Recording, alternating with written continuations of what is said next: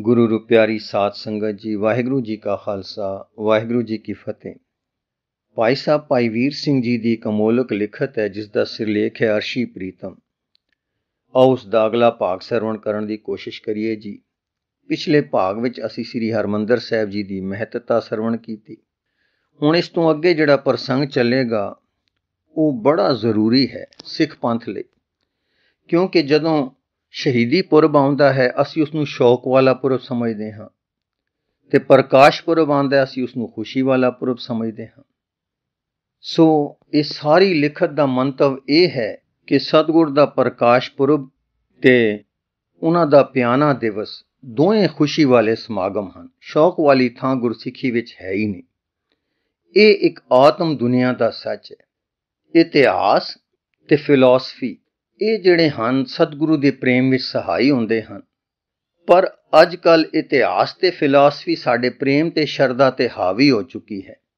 ਸੋ ਭਾਈ ਸਾਹਿਬ ਜੀ ਨੇ ਇਸ ਵਿੱਚ ਇਹ ਹੀ ਵਰਣਨ ਕੀਤਾ ਹੈ ਕਿ ਉਹਨਾਂ ਦੋਹਾਂ ਨੂੰ ਪ੍ਰੇਮ ਦੇ ਅਧੀਨ ਰੱਖਣਾ ਹੈ। ਫਿਰ ਆਪ ਜੀ ਨੇ ਇਹ ਦਰਸਾਇਆ ਕਿ ਕਿਵੇਂ ਸਤਿਗੁਰ ਦਾ ਪਿਆਨਾ ਦਿਵਸ ਜਾਂ ਜਿਹਨੂੰ ਅਸੀਂ ਜੋਤੀ ਜੋਤ ਸਮਾਉਣਾ ਕਹਿੰਦੇ ਹਾਂ, ਉਹ ਵੀ ਖੁਸ਼ੀ ਦਾ ਦਿਵਸ ਹੈ। ਬੜੇ ਵਿਸਥਾਰ ਨਾਲ ਦਰਸਾਇਆ ਹੈ। ਤੇ ਆਤਮ ਮੰਡਲ ਦੇ ਉਹ ਕੌਤਕ ਦਰਸਾਏ ਹਨ ਕਿ ਜਦੋਂ ਸਾਰੇ ਸ਼ਹੀਦ, ਸਾਰੇ ਗੁਰਸਿੱਖ ਤੇ ਗੁਰੂ ਸਾਹਿਬ ਜਦੋਂ ਸਰੀਰ ਛੱਡ ਕੇ ਮਾਤ ਲੋਕ ਤੋਂ ਸੱਚਖੰਡ ਵੱਲ ਪਿਆਨਾ ਕਰਦੇ ਹਨ, ਉਥੇ ਕੀ ਕੁਝ ਹੁੰਦਾ ਹੈ? ਜਿਸ ਨੂੰ ਅਸੀਂ ਇੱਥੇ ਦੁੱਖ ਸਮਝਦੇ ਹਾਂ, ਉੱਥੇ ਕਿਤਨੇ ਸ਼ਦਿਆਨੇ ਵਜਦੇ ਹਨ ਉਸ ਦਾ ਵਰਣਨ ਕੀਤਾ ਹੈ। ਸੋ ਆਓ ਇਸ ਨੂੰ ਕਈ ਭਾਗਾਂ ਵਿੱਚ ਸਰਵਣ ਕਰਨ ਦੀ ਕੋਸ਼ਿਸ਼ ਕਰੀਏ ਜੀ। ਇਸ ਹਿੱਸੇ ਵਿੱਚ ਇਹ ਦਰਸਾਇਆ ਹੈ ਕਿ ਸਤਗੁਰ ਦਾ ਅਵਤਾਰ ਤੇ ਆਤਮ ਧਿਆਨ ਹੋਣਾ ਇਹ ਦੋ ਕੌਤਕ ਹਨ। ਉਹ ਸਦਾ ਇੱਕ ਰਸ ਦੇ ਪੁੱਤ ਹਨ। ਸਾਡੇ ਲਈ ਇਹ ਦੋਏ ਕੌਤਕ ਦੇ ਦਿਨ ਗੁਰਪੁਰਬ ਹਨ, ਦੋਵੇਂ ਖੁਸ਼ੀਆਂ ਦੇ ਦਿਨ ਆਓ ਪਿਆਰ ਨਾਲ ਸਰਵਣ ਕਰਨ ਦੀ ਕੋਸ਼ਿਸ਼ ਕਰੀਏ। ਇੱਕ ਦਿਨ ਅੰਮ੍ਰਿਤ ਵੇਲੇ ਇਸ ਮੰਦਰ ਵਿੱਚ ਬੈਠੇ ਹਾਂ ਇਸ ਸੁਹਾਵੇ ਮੰਦਰ ਦੇ ਸੁਹਾਵੇ ਰਸ ਨੂੰ ਅੰਦਰ ਲੈਂਦਿਆਂ ਲੈਂਦਿਆਂ ਇੱਕ ਨਿਮਗਨਤਾ ਜਿਹੀ ਛਾ ਗਈ। ਇਸ ਮਗਨਤਾ ਵਿੱਚ ਸੁਰਤ ਚੱਲੀ। ਹਾਂ ਚੱਲੀ। ਹੁਣ ਸੈਂਕੜੇ ਮੀਲ ਹੇਠਾਂ ਦੇਖਣ ਦੇਸ਼ ਨੂੰ ਕੀ ਦੇਖਦੇ ਹਾਂ। ਦੀਵਾਨ ਸਜ ਰਿਹਾ ਹੈ। ਸਿੰਘ ਗੁਰੂ ਕਲਗੀਧਰ ਦੇ ਵਿਛੋੜੇ ਵਿੱਚ ਬੈਠੇ ਹਨ। ਕੀਰਤਨ ਦਾ ਭੋਗ ਪਿਆ ਤਾਂ ਇੱਕ ਸਿੰਘ ਜੀ ਬੋਲੇ, ਜਨਮ ਮਰਨ ਦੋਹੂ ਮੈਂ ਨਾਹੀ, ਜਨ ਪਰ ਉਪਕਾਰੀ ਆਏ, ਜੀ ਦਾਨ ਦੇ ਭਗਤੀ ਲਾਇਨ ਹਰ ਸਿਉ ਲੈਨ ਮਿਲਾਏ। ਇਸ ਪਰ ਇੱਕ ਸੁਖਮਈ ਚਰਨਾੜ ਛਿੜੀ। ਔਰ ਸਿੱਧਕੀ ਤੇ ਰਸੀਏ ਜੋਧਿਆਂ ਦੇ ਮੂੰਹ ਲਾਲ ਹੋ ਗਏ। ਤਨ ਸਤਗੁਰ ਦੀ ਗੂੰਜ ਉੱਠੀ ਤੇ ਜੈਕਾਰੇ ਗਜ ਪਏ। ਫਿਰ ਭਾਈ ਸੰਤੋਖ ਸਿੰਘ ਜੀ ਜਥੇਦਾਰ ਬੋਲੇ, ਖਾਲਸਾ ਜੀ, ਸਤਿਗੁਰੂ ਜੀ ਨੇ ਗੁਰੂ ਖਾਲਸਾ ਥਾਪਿਆ ਹੈ। ਗੁਰੂ ਗ੍ਰੰਥ ਜੀ ਦੀ ਤਾਬੇ ਤੇ ਆਪ ਸਦਾ ਵਿਚਰਨਗੇ ਖਾਲਸੇ ਵਿੱਚ ਤੇ ਫਰਮਾਇਆ ਸੀ ਕਿ ਮੈਨੂੰ ਚੋਲਾ ਛੱਡ ਜਾਣ ਤੇ ਤੁਰ ਗਿਆ ਨਾ ਸਮਝਣਾ। ਮੈਂ ਤੁਸਾਂ ਦੇ ਵਿੱਚ ਹਾਂ, ਤੁਸਾਂ ਦੇ ਨਾਲ ਹਾਂ। ਹਾਂ, ਸਭ ਥਾਈ ਹੋਏ ਸਹਾਏ, ਇਹ ਗੁਰੂ ਕਾ ਬਿਰਧ ਹੈ। ਜਿੱਥੇ ਕੋਈ ਅਰਾਦੇਗਾ ਗੁਰੂ ਬਹੁੜੀ ਕਰੇਗਾ, ਸਦਾ ਅੰਗ ਸੰਗ ਹੋ ਵਰਤੇਗਾ। ਖਾਲਸਾ ਜੀ, ਸਤਗੁਰ ਦੇ ਘਰ ਗੁਰਪੁਰਬ ਸਦਾ ਦਸਾਹਿਰਾ ਹੈ। ਅਵਤਾਰ ਧਾਰਨਾ, ਕਿ ਅੰਤਰ ਧਿਆਨ ਹੋਣਾ ਸਤਗੁਰ ਦਾ ਸਦਾ ਗੁਰਪੁਰਬ ਹੈ। ਸਾਡਾ ਸਤਗੁਰ ਜੀਵਨ ਦਾ ਸੂਰਜ ਹੈ। ਸੂਰਜ ਸਦਾ ਚਮਕਦਾ ਹੈ। ਸੂਰਜ ਦਾ ਉਦੇ ਅਸਤ, ਸੂਰਜ ਦਾ ਜਨਮ ਮਰਨ ਨਹੀਂ ਹੁੰਦਾ। ਤਿਵੇਂ ਸਤਗੁਰ ਦਾ ਪ੍ਰਗਟ ਹੋਣਾ ਜਾਂ ਅੰਤਰ ਧਿਆਨ ਹੋਣਾ ਆਵਾਗਮਨ ਨਹੀਂ ਹੈ, ਨਾ ਭਾਵ ਅਪਾਵ ਹੈ। ਸਤਗੁਰ ਜਾਗਦੀ ਜੋਤ ਸਦਾ ਪ੍ਰਕਾਸ਼ਮਾਨ ਹੈ। ਸਾਡੇ ਅੰਗ ਸੰਗ ਹੈ। ਸਾਡੇ ਵਿੱਚ ਹੈ ਜੀ ਕੋ ਬਾਬਾ ਮੜੀ ਨਾ ਗੋਰ ਗੁਰ ਅੰਗਦ ਕੇ ਹੀਏ ਮੇ। ਤੀਕੂ ਕਲਗੀਆਂ ਵਾਲਾ ਨਾਥ ਤੁਰ ਨਹੀਂ ਗਿਆ, ਪੰਥ ਹੀਏ ਵਿਚਕਾਰ ਜੋਤ ਜਗਾ ਰਿਹਾ ਹੈ। ਇੱਕ ਸਿੰਘ ਬੋਲਿਆ, ਪਰ ਤਤ ਤਤਾਂ ਵਿੱਚ ਰਲ ਗਏ। ਜੋਤ ਵਿੱਚ ਜੋਤ ਰਲ ਗਈ। ਸਤਗੁਰ ਸੰਪੂਰਨ ਸੀ, ਸੰਪੂਰਨ ਹੋ ਗਿਆ, ਬਾਕੀ ਕੀ? ਇੱਕ ਹੋਰ ਆਵਾਜ਼ ਆਈ 1723 ਸੰਮਤ ਵਿੱਚ ਸਤਗੁਰ ਪ੍ਰਗਟੇ 1765 ਵਿੱਚ ਜੋਤੀ ਜੋਤ ਸਮਾਏ। ਇਹ ਵਾਕਿਆ ਇੰਜ ਹੋਏ ਤੇ ਇੰਜ ਠੀਕ ਹਨ। ਸੰਤੋਖ ਸਿੰਘ ਜੀ ਬੋਲੇ, ਫਿਲਸਫਾ ਤੇ ਇਤਿਹਾਸ ਆਪਣੀ ਰਾਹੇ ਟੁਰਨ, ਪਏ ਟੁਰਨ, ਪਰ ਆਤਮਿਕ ਦੁਨੀਆ ਦਾ ਸੱਚ ਤੇ ਪ੍ਰਤੱਖ ਸੱਚ ਇਉਂ ਹੈ ਕਿ ਸਤਗੁਰ ਦੀ ਜੋਤ ਅਜ਼ਲੀ ਜੋਤ ਹੈ। ਅਜ਼ਲੀ ਚੀਜ਼ ਦਾ ਆਦ ਅੰਤ ਨਹੀਂ ਉਸ ਦਾ ਜਨਮ ਮਰਨ ਕਥਨ ਕਰਨਾ ਖਤਾ ਕਰਨੀ ਹੈ। ਉਹ ਅਜ਼ਲੀ ਜੋਤ ਦੇਸ਼ ਕਾਲ ਦੀ ਕੈਦ ਤੋਂ ਪਰੇ ਹੈ। ਅਸੀਂ ਸਾਰੇ ਮਨ ਵਾਲੇ, ਸੋਚ ਵਾਲੇ, ਹੱਦ ਵਾਲੇ ਲੋਕ ਹਾਂ। ਦੇਸ਼ ਕਾਲ ਆਦਿ ਬਿਨਾ ਅਸੀਂ ਕੁਝ ਸੋਚ ਨਹੀਂ ਸਕਦੇ।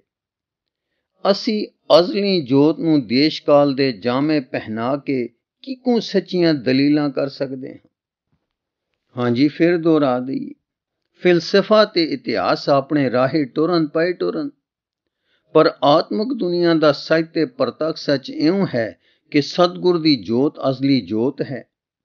ਅਸਲੀ ਚੀਜ਼ ਦਾ ਆਦ ਅੰਤ ਨਹੀਂ, ਉਸ ਦਾ ਜਨਮ ਮਰਨ ਕਥਨ ਕਰਨਾ ਖਤਾ ਕਰਨੀ ਹੈ। ਉਹ ਅਸਲੀ ਜੋਤ ਦੇਸ਼ ਕਾਲ ਦੀ ਕੈਦ ਤੋਂ ਪਰੇ ਹੈ। ਅਸੀਂ ਸਾਰੇ ਮਨ ਵਾਲੇ, ਸੋਚ ਵਾਲੇ, ਹੱਦ ਵਾਲੇ ਲੋਕ ਹਾਂ। ਦੇਸ਼ ਕਾਲ ਆਦਿ ਬਿਨਾ ਅਸੀਂ ਕੁਝ ਸੋਚ ਹੀ ਨਹੀਂ ਸਕਦੇ। ਅਸੀਂ ਅਜ਼ਲੀ ਜੋਤ ਨੂੰ ਦੇਸ਼ ਕਾਲ ਦੇ ਜਾਮੇ ਪਹਿਨਾ ਕੇ ਕਿਕੂ ਸੱਚੀਆਂ ਦਲੀਲਾਂ ਕਰ ਸਕਦੇ ਹਾਂ? ਸਤਗੁਰ ਦੀ ਅਜ਼ਲੀ ਯਾਨੀ ਅਪਚਲੀ ਜੋਤ ਆਪਣੇ ਜੋਤ ਸਰੂਪ ਵਿੱਚ ਆਨੰਦ ਹੈ। ਜੇ ਚਾਹੇ ਤਾਂ ਸੰਸਾਰ ਦੇ ਕੰਮ ਕਰਦੀ ਹੈ, ਅਰੂਪ ਰੂਪ ਰਹਿ ਕੇ ਕਰਦੀ ਹੈ, ਰੂਪ ਧਾਰ ਕੇ ਕਰਦੀ ਹੈ। ਗੁਰੂ ਆਖਦਾ ਹੈ ਕਿ ਮੈਂ ਸਦਾ ਜੀਵਦਾ ਹਾਂ, ਮੈਂ ਅਵਤੂਤ ਵੀ ਹਾਂ, ਰਸਾਲ ਵੀ ਹਾਂ ਪੁਰਖ ਰਸਕ ਵੀ ਹਾਂ, ਬੈਰਾਗੀ ਵੀ ਹਾਂ, ਮੈਂ ਅਰੂਪ ਵੀ ਹਾਂ, ਰੂਪ ਵੀ ਹਾਂ, ਅਰੂਪ ਰੂਪ ਵੀ ਹਾਂ, ਮੈਂ ਖੇਲ ਵੀ ਹਾਂ, ਅਖੇਲ ਵੀ ਹਾਂ, ਅਖੇਲ ਖੇਲਨ ਵੀ ਹਾਂ। ਮਿੱਤਰੋ, ਸਿੱਖ ਹਾਂ, ਸਿੱਖ ਪਦ ਵਿੱਚ ਗੁਰੂ ਪਦ ਦੀ ਸੰਭਾਵਨਾ ਹੈ। ਸੋ ਤੁਹਾਡਾ ਗੁਰੂ ਹੈ, ਉਹ ਗੁਰੂ ਸਦਾ ਜੀਵਦਾ ਹੈ। ਉਹ ਸਦਾ ਜੀਵਨ ਨੇ ਸਦਾ ਸੰਸਾਰ ਦੇ ਜੀਵਾਂ ਨੂੰ ਜੀਦਾਨ ਦੇਣਾ ਹੈ। ਅਸੀਂ ਤਾਂ ਦੇਹ ਦੇ ਦਰਸ਼ਨ ਪਾਏ, ਹਜ਼ਾਰਾਂ ਲੱਖਾਂ ਸਾਥੋਂ ਮਗਰੋਂ ਆਉਣਗੇ, ਸਿਖਾਉਣਗੇ, ਸਿੱਖੀ ਸਿੱਧਕ ਪਾਲਣਗੇ, ਸਤਿਗੁਰੂ ਨੂੰ ਮਿਲਣਗੇ। ਕਿਕੂ ਵਿਚਾਰ ਕਰੋ, ਜੇ ਤੁਸੀਂ ਸਤਿਗੁਰੂ ਨੂੰ ਨਿਰੇ ਫਿਲਸਫੇ ਤੇ ਇਤਿਹਾਸ ਦੇ ਖੋਪਿਆਂ ਨਾਲ ਤੱਕਿਆ ਤੇ ਇਹ ਖੋਪੇ ਅੱਗੋਂ ਆਪਣੀ ਆਲ ਔਲਾਦ ਨੂੰ ਦੇ ਦਿੱਤੇ ਤਾਂ ਸਤਗੁਰ ਤੋਂ ਲਾਭ ਕੌਣ ਉਠਾਊ? ਉਹ ਦਿਨ ਹਾਏ ਹਾਏ ਦਾ ਹੋ ਸ਼ੋਕ ਦਾ ਹੋ ਜਿਸ ਦਿਨ ਖਾਲਸਾ ਸਤਗੁਰ ਨੂੰ ਜਾਗਤਾ ਦਿਓ ਨਾ ਸਮਝੂ, ਜਿਸ ਦਿਨ ਸਤਗੁਰੂ ਜੀ ਦੀ ਹੋਣ ਦਾ ਧਿਆਨ ਪੰਥ ਵਿੱਚ ਨਾ ਰਹੂ, ਜਿਸ ਦਿਨ ਸਤਗੁਰ ਸਿੱਖੀ ਦਾ ਆਦਰਸ਼ ਨਾ ਰਹੂ, ਹਾਵਿਆਂ ਵਾਲਾ ਹੋਊ ਉਹ ਦਿਨ। ਜਿਸ ਦਿਨ ਸਿੱਖ ਸੇਵਾ ਉਪਕਾਰ ਪੰਥ ਦਾ ਕੰਮ ਕਰਨਗੇ, ਪਰ ਹੀਏ ਵਿੱਚ ਸਤਗੁਰ ਦਾ ਚਾਉ ਤੇ ਸਾਰਾ ਕੁਝ ਉਸ ਸਮਰਪਣ ਕਰਨ ਦਾ ਉਮਾ ਨਹੀਂ ਤਾਰਨਗੇ, ਉਸ ਦਿਨ ਸਿੱਖ ਮਨਮੁਖ ਹੋ ਜਾਣਗੇ। ਜਿਸ ਦਿਨ ਸਤਗੁਰ ਨੂੰ ਭੁਲਾ ਦੇਣਗੇ, ਹਾਂ, ਜਦ ਤੱਕ ਸਿੱਖ ਸਤਗੁਰ ਨੂੰ ਆਦਰਸ਼ ਬਣਾਈ ਰੱਖਣਗੇ, ਸਤਗੁਰ ਨੂੰ ਖਿਆਲੀ ਨਹੀਂ, ਸਗੋਂ ਸੱਚੀ ਅਜ਼ਲੀ ਜੋਤ ਜਾਣਨਗੇ ਜੋ ਕੰਮ ਕਰਨਗੇ ਉਸ ਦਾ ਹੁਕਮ ਜਾਣ ਕੇ ਕਰਨਗੇ, ਜੋ ਸੇਵਾ ਸ਼ੁਭ ਗੱਲਾਂ ਕਮਾਉਣਗੇ, ਉਹਦੇ ਚਰਨਾਂ ਵਿੱਚ ਭੇਟ ਧਰਨਗੇ, ਤਦ ਤੱਕ ਸਿੱਖ ਸਿੱਖ ਰਹਿਣਗੇ। ਸੋ ਮਿਲੇ ਰਹੋ ਮਿਲੇ ਰਹੋ ਸਦਾ ਸਤਗੁਰ। ਨੂੰ ਖਾਲਸਾ ਜੀ, ਅਸੀਂ ਸ਼ੌਕ ਵਿੱਚ ਪੈ ਰਹੇ ਹਾਂ ਢੈਂਦੀਆਂ ਕਲਾਂ ਵਿੱਚ ਚਲੇ ਗਏ ਹਾਂ, ਬੇਅਦਬ ਹੋ ਚਲੇ ਹਾਂ, ਅਸਲੀ ਜੋਤ ਦੇ ਉਦੇ ਅਸ ਦੇ ਵਹਿਮ ਵਿੱਚ ਪੈ ਗਏ ਹਾਂ। ਜਿਵੇਂ ਮੂਰਖ ਸੂਰਜ ਦੇ ਉਦੈ ਅਸਤ ਨੂੰ ਉਸ ਦਾ ਸੱਚਮੁੱਚ ਚੜਨਾ ਤੇ ਡੁੱਬਣਾ ਸਮਝਦੇ ਹਨ। ਸੂਰਜ ਸਦਾ ਚੜਿਆ ਹੈ। ਉਦੈ ਹੋਣ ਤੋਂ ਪਹਿਲਾਂ ਤੇ ਅਸਤ ਹੋਣ ਤੋਂ ਮਗਰੋਂ ਸੂਰਜ ਸਦਾ ਹੈ। ਕਦੇ ਨਹੀਂ ਹੈ, ਨਹੀਂ ਹੁੰਦਾ। ਹਾਂ, ਅਸੀਂ ਅੱਜ ਸਤਗੁਰ ਦੇ ਜਨਮ ਚਲਾਣੇ ਦੇ ਹਰਕ ਸ਼ੋਗ ਵਿੱਚ ਹਾਂ। ਛੱਡੋ ਇਹ ਅਗਿਆਨ। ਆਤਮ ਸੱਚ ਵੱਲ ਤੱਕੋ। ਸਤਗੁਰ ਦਾ ਅਵਤਾਰ ਤੇ ਅੰਤਮ ਧਿਆਨ ਹੋਣਾ ਦੋ ਕੌਤਕ ਹਨ, ਉਹ ਸਦਾ ਇੱਕ ਰਸ ਦੇ ਪਤ ਹਨ। ਸਾਡੇ ਲਈ ਦੋਏ ਕੌਤਕ ਦੇ ਦਿਨ ਗੁਰਪੁਰਬ ਹਨ। ਦੋਵੇਂ ਖੁਸ਼ੀਆਂ ਦੇ ਦਿਨ ਹਨ। ਦੋਵੇਂ ਰੱਬੀ ਭੇਦ ਹਨ। ਦੋਵੇਂ ਪ੍ਰਤੱਖ ਸੱਚ ਹਨ।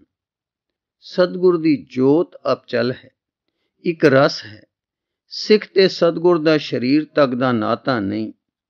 ਇਹ ਨਾਤਾ ਆਤਮ ਨਾਤਾ ਹੈ। ਆਤਮਾ ਨਿਤ ਹੈ, ਨਾਤਾ ਨਿਤ ਹੈ। ਵੀਰੋ ਹੰਬਲਾ ਮਾਰੋ, ਉੱਚੀ ਅਟਾਰੀ ਤੇ ਸੁਰਤ ਕਰਕੇ ਤੱਕੋ।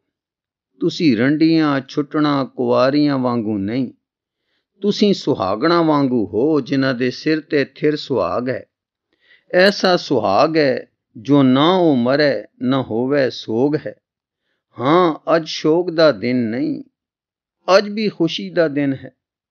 ਪਰ ਤਾਂ ਜੇ ਅਸੀਂ ਸਿੱਧਕ ਦੀ ਐਨਕ ਨਾਲ ਸਤਗੁਰ ਦੇ ਅਸਲ ਰੂਪ ਨੂੰ ਤੱਕੀਏ, ਤਕੜੇ ਹੋਵੋ ਔਰ ਆਖੋ, ਸਤਗੁਰ ਮੜੀ ਨਾ ਗੋਰ, ਗੁਰੂ ਪੰਥ ਦੇ ਹਿਰਦੇ ਵਿੱਚ ਲਿਵਦੀ ਲੱਗੀ ਡੋਰ, ਹਾਜ਼ਰ ਦਿਸੇ ਜ਼ਾਹਰਾ। ਇਤਿਹਾਸਕਾਰ ਦੇ ਮਗਰ ਲੱਗ ਕੇ ਆਤਮ ਸੱਚ ਨੂੰ ਨਾ ਗਵਾਓ। ਇਤਿਹਾਸਕਾਰ ਹਨੇਰੇ ਵਿੱਚ ਹੈ, ਕੇਵਲ ਛਿੱਲੜ ਤੱਕਦਾ ਹੈ। ਉਸ ਨੂੰ ਗਿਰੀ ਤੇ ਗਿਰੀ ਦੀਆਂ ਸ਼ਕਤੀਆਂ ਦਾ ਪਤਾ ਨਹੀਂ ਹੈ, ਫਿਲਸਫੇ ਵਾਲਾ ਗਿਣਤੀ ਵਿੱਚ ਹੈ। ਉਸ ਨੂੰ ਅਸੰਖ ਪਦ ਦਾ ਪਤਾ ਨਹੀਂ ਉਸ ਨੂੰ ਅਮੁੱਲ ਦੀ ਗਿਆਤ ਅਜੇ ਨਹੀਂ ਆਈ। ਹਾਂ ਭਾਈਓ, ਟਿੰਡਾਂ ਬੈਠ ਕੇ ਕੁਮਹਾਰ ਦਾ ਪਾਰਾ ਵਾਰ ਲੈਂਦੀਆਂ ਹਨ। ਸਿੱਖ ਬਣੋ, ਹਨੇਰੇ ਵਿੱਚੋਂ ਨਿਕਲੋ, ਸੁਰਤੇ ਹੋ ਕੇ ਚਾਹ ਵਿੱਚ ਤੱਕੋ। ਸਤਗੁਰ ਸਦਾ ਜਾਗਦੀ ਜੋਤ ਹੈ। ਉਹ ਜਿਕੂ ਸਾਡੇ ਵਿੱਚ ਸਾਡੇ ਵਰਗੇ ਕਾਗਜ਼ੀ ਤਖਤੇ ਤੇ ਮੂਰਤ ਦਿਖਾ ਗਏ ਹਨ, ਉਹ ਅਮੂਰਤ ਤਖਤੇ ਉੱਤੇ ਉਸੇ ਤਰ੍ਹਾਂ ਮੂਰਤੀਮਾਨ ਹਨ। ਹਾਂ ਹਾਂ, ਸਤਗੁਰ ਸਾਡਾ ਹਲਤ ਪਲਤ ਸਵਾਰਨਗੇ, ਸਾਡੇ ਬੰਧਨ ਕੱਟਣਗੇ। ਸਤਗੁਰ ਦਾ ਬਿਰਧ ਹੈ। ਜੈ ਜੈ ਕਾਜ ਕਿਰਤ ਸੇਵਕ ਕੀ ਤਹਾਂ ਤਹਾਂ ਉਠਤਾਵੇ, ਸੇਵਕ ਕੋ ਨਿਕਟੀ ਹੋਏ ਦਿਖਾਵੇ। ਜਿਵੇਂ ਬਰਫ਼ ਜੋ ਤੁਸੀਂ ਨਿਗਰ ਤੱਕ ਰਹੇ ਹੋ ਪਾਣੀ ਹੈ। ਪਾਣੀ ਭਾਵ ਬਣ ਕੇ ਪੌਣ ਰੂਪ ਹੋ ਜਾਂਦਾ ਹੈ। ਤਿਵੇਂ ਸਰੀਰ, ਮਨ, ਬੁੱਧੀ ਸਭ ਇੱਕੋ ਆਤਮਾ ਦੇ ਆਪਣੇ ਕੋਈ ਚੋਜ ਹਨ। ਜੀਵ ਦੀ ਆਤਮਾ ਜਦੋਂ ਸੁਤੰਤਰ ਤੇ ਨਿਰਭੈ ਪਦ ਤੇ ਜਾਵੇ, ਫਿਰ ਉਸ ਦੇ ਅੱਗੇ ਉਹ ਕੁਝ ਸੰਭਵ ਹੈ ਜੋ ਸਾਡੇ ਅੱਗੇ ਨਹੀਂ। ਤੁਸੀਂ ਸਤਗੁਰ ਦੀ ਜੋਤ ਤੇ ਈਮਾਨ ਧਰੋ, ਜੋ ਅਜ਼ਲੀ ਹੈ। ਮੇਰਾ ਜੀ ਇਹ ਕਰਦਾ ਹੈ ਕਿ ਫੋਕੇ ਗਿਆਨ ਨੂੰ ਵੀ ਦੂਰ ਰੱਖੋ। ਸਤਗੁਰ ਨੂੰ ਉਂਝੀ ਆਪਣੇ ਵਿੱਚ ਸਹਾਈ ਸਿਰ ਉਤੇ ਅੰਗ ਸੰਗ ਜਾਣ। ਸਤਗੁਰ ਹੈ ਹੈ, ਇਸ ਨਿਰੀ ਸੋਚ ਵਿੱਚ ਨਾ ਪਾਵੋ, ਸਦਾ ਲਿਵ ਵਿੱਚ ਰਹੋ। ਫਿਰ ਗੁਰਸਿੱਖ ਦੀ ਸੰਧ ਸਦਾ ਗੁਰੂ ਨਾਲ ਮਿਲੀ ਹੈ। ਆਓ ਸ਼ੋਕ ਦੂਰ ਕਰੀਏ। ਸਾਨੂੰ ਸ਼ੋਕ ਆਦਾ ਨਾ ਮਰੇ ਨਾ ਹੋਵੇ ਸੋਗ। ਇੱਕ ਆਵਾਜ਼ ਆਈ ਇਹ ਨੂੰ ਲੱਗੇ ਬਿਰਹੋਂ ਦੇ ਤੀਰ ਕਿਵੇਂ ਨਿਕਲਣ ਤੇ ਕਿਵੇਂ ਮਿਲਣ ਇਹ ਸੁਣ ਕੇ ਸਤਗੁਰ ਦੇ ਪਿਆਰੇ ਸੰਤੋਖ ਸਿੰਘ ਦਾ ਜੀ ਪਰ ਆਇਆ ਜਿਸ ਨੂੰ ਕਲਗੀਆਂ ਵਾਲੇ ਨੇ ਹੁਕਮ ਦਿੱਤਾ ਸੀ ਕਿ ਤੁਸੀਂ ਸਦਾ ਇੱਥੇ ਰਹਿਣਾ ਤੇ ਦੇਗ ਚਲਾਉਣੀ ਉਸ ਪਿਆਰੇ ਦਾ ਜੀ ਪਰ ਆਇਆ ਸਿਦਕ ਨੇ ਉਛਾਲਾ ਖਾਦਾ ਉਸ ਸੱਚ ਨੇ ਜੋ ਦੁਨੀਆ ਦੀ ਵਡਿਆਈ ਨੂੰ ਵਡਿਆਈ ਨਹੀਂ ਸਮਝਦਾ ਪਰ ਜਿੱਥੇ ਉਹ ਹੁੰਦਾ ਹੈ ਉੱਥੇ ਪਰਬਲ ਸ਼ਕਤੀ ਹੁੰਦੀ ਹੈ ਉਛਾਲਾ ਖਾਦਾ ਅੱਖਾਂ ਚੜ ਗਈਆਂ, ਲਾਲੀ ਭਰ ਆਈਆਂ, ਮੱਥਾ ਚਮਕ ਪਿਆ, ਲਸ ਮਾਰੀ, ਸਰੀਰ ਥਰਰਾ ਗਿਆ, ਨੈਣਾ ਵਿੱਚੋਂ ਇੱਕ ਤੇਜ ਨਿਕਲਿਆ, ਹਰ ਸਿੰਘ ਜੀ ਨੇ ਆਕਾਸ਼ ਵਿੱਚ ਇੱਕ ਹੱਥ ਫੇਰ ਕੇ ਗੂੰਜਦਾਰ ਪਰ ਕੜਕਵੀਂ ਆਵਾਜ਼ ਵਿੱਚ ਕਿਹਾ, ਓ ਔਹਾਣੀ ਕਦੇ ਨਾਹੇ ਨਾ ਆਵੇ ਨਾ ਜਾਏ ਔਹਾਣੀ ਤੋਂ ਭਾਵ ਹੈ ਵਿਨਾਸ਼ ਹੋਣ ਵਾਲਾ। ਉਹ ਔਹਾਣੀ ਕਦੇ ਨਾ ਨਾਏ ਨਾ ਆਵੇ ਨਾ ਜਾਏ। ਇਹ ਕਹਿੰਦੇ ਹੀ ਇੱਕ ਲਿਸ਼ਕਾਰਾ ਪਿਆ। ਸਭ ਨੈਣ ਮੁੰਦ ਗਏ। ਸਾਰੇ ਖਾਲਸੇ ਅਹਲ ਅਚਲ ਅਡੋਲ ਹੋ ਗਏ। ਸਾਰਿਆਂ ਦੇ ਨੈਣ ਅਗੋਂ ਮਾਤ ਲੋਕ ਲੋਪ ਹੋ ਗਿਆ। ਅੰਦਰਲੀ ਨਜ਼ਰ ਅਸਮਾਨਾਂ ਤੇ ਜਾ ਟਿਕਦੀ। ਤਾਂ ਕੀ ਦੇਖਦੇ ਹਨ? ਇੱਥੇ ਸਾਰੇ ਗੁਰਸਿੱਖ ਜਿਹੜੇ ਭਾਵਨਾ ਵਿੱਚ ਬੈਠੇ ਸਨ। ਉਹਨਾਂ ਦੇ ਨੈਣ ਅੱਗੋਂ ਜਦੋਂ ਮਾਤ ਲੋਕ ਲੋਪ ਹੋ ਗਿਆ, ਤਾਂ ਫਿਰ ਉਹ ਆਤਮ ਮੰਡਲ ਦੇ ਕੌਤਕਾਂ ਨੂੰ ਦੇਖਦੇ ਹਨ। ਉਹ ਕੌਤਕ ਕੀ ਹਨ? ਆਪ ਜੀ ਨੂੰ ਅੱਗੇ ਪੜ੍ਹ ਕੇ ਸਰਵਣ ਕਰਾਉਣ ਦੀ ਕੋਸ਼ਿਸ਼ ਕਰਾਂਗੇ ਜੀ। ਵਾਹਿਗੁਰੂ ਜੀ ਕਾ ਖਾਲਸਾ, ਵਾਹਿਗੁਰੂ ਜੀ ਕੀ ਫਤਿਹ।